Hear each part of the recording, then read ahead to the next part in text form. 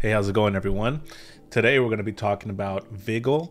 I believe that's how it's pronounced. And it's a really cool AI tool that I discovered through a person who I follow on Twitter. Uh, this person goes by AI Warper. And this is what AI Warper was able to create using Viggle. And I thought it looked really, really cool. Obviously, it's not perfect, but once you see how easy it is to use, you you'll be like, okay, this is really cool. But AI Warper did have a process. Uh, I believe they uh, removed the background, the rotoscope, and then added the image. But I think even if you don't do this process, I think you can get some really good results because I tested it already, and it's super simple. Like you know, there's this stereotype of how people who do AI just click a button and then everything is done for them. I think this is becoming a reality where really it's becoming so simple. You just drop an image and a video and it just animates it for you like you're seeing right here.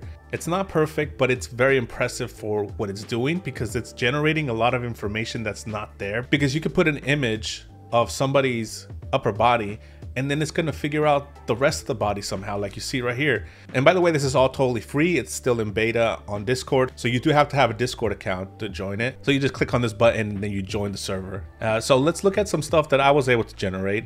Uh, here are some stuff that a lot of people already generated. When you come into the server uh, you come here to where it says animate. All these channels here allow you to generate whatever you want so uh, you can just pick whichever one. Let's check out some examples of some of the stuff some people have created. So for example, there's this woman who's dancing. This person used an image, I don't know, maybe of themselves, I'm not sure. Um, but then they play it and it animates that image of that person. I mean, it looks pretty good. Uh, and it also removes the background, which is really cool. So you have a lot of examples here. Uh, some things work better than others. Some things like um, just don't look as clean. According to what AI Warper told me was that it's better to have full body images because then the AI tries to guess everything like the rest of the body. And the way the AI guesses the rest of the body is actually really impressive because this is just the upper body of this person, but yet it guessed that this person might be wearing some black pants and added some tennis shoes. It would have been really cool if it added some really nice formal black shoes. Here I fed a video of this 3D model that's running. And here I put an image of Kanye West in his college dropout days. And it did this. Which has some jank to it, like especially the face right here.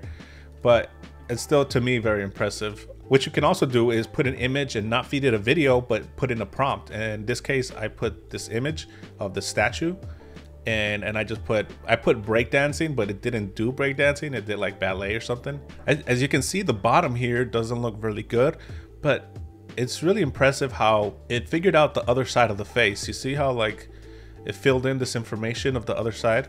Because right here you only see one side of the face, but here you see both sides and then some of the top here it fills in that uh, missing information. But then over here it just doesn't know what to do. I think it would have done a way better job if i did an image of a full body statue. So let's test out how this works. It's very simple. You come down here to where it says the message and you're going to put forward slash and then you're gonna have a few options right here and it's gonna say animate mix mix is where you put a video and an image and then it's going to animate that image based on what's happening in the video so this is a very popular one and it tells you here, drop video and drop image. So that's what we're gonna do. Let's look for a video. I came to here to Midjourney and just did a little search here of stuff people have generated. And I think something like this could work because it's, it's full body. Okay, I'm gonna try this one. This I like this one a lot. So I'm gonna save this image and then I have a video. So I'm gonna put this in this image section. I'm gonna put this video here. Uh, it might be difficult because there is zooming in and zooming out. I just muted the music so I don't get copyright uh, claimed. So let's just test this out to see what happens. And then for background, you can choose green screen, which is really cool because then you can key out the background and add your own background or do whatever you want, or you can add a white background. So in this case, I'm just going to do a white background because I'm not going to use this for anything. So right here says enhance character detail fidelity uh, adding approximately two minutes to the video processing time. You can add this like fine tune option to add some more details. I'm gonna go ahead and add it so that I can get like the best results I can get with this. Then after that, that's it. Just enter. And it's gonna take a few minutes. I'm not sure exactly how long. That's pretty much it. You drag an image, you drag a video, let it generate, that's it. And then we're gonna see what kind of video it spits out. So we're gonna go ahead and fast forward, see you in a bit. It finally finished and let's check it out. Okay. It's not too bad. Uh, there is quite a bit of jitter and the quality is not as nice as the actual image, but I think it's still doing a decent job with tracking it. And again, the quality will really depend on what kind of images you're feeding it and also the video itself. I don't think something like this that's this easy was possible even like five months ago or even three months, I'm not sure.